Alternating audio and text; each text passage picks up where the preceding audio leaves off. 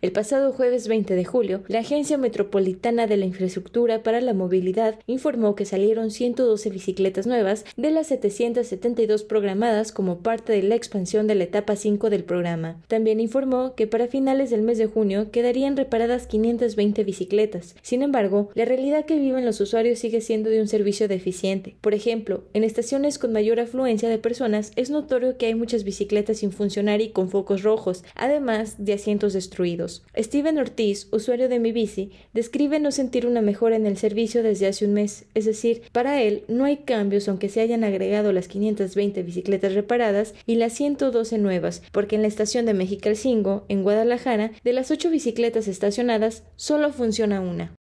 No. ¿Qué has notado?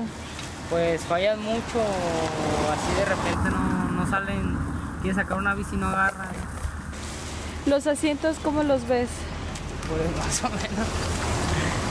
Si están medio ¿ah? De los problemas denunciados por parte de los usuarios de mi bici en redes sociales sigue siendo asientos en mal estado, frenos sin funcionar y bicicletas que están en estación pero no funcionan. Para UDGTV Canal 44, María Ramírez Blanco.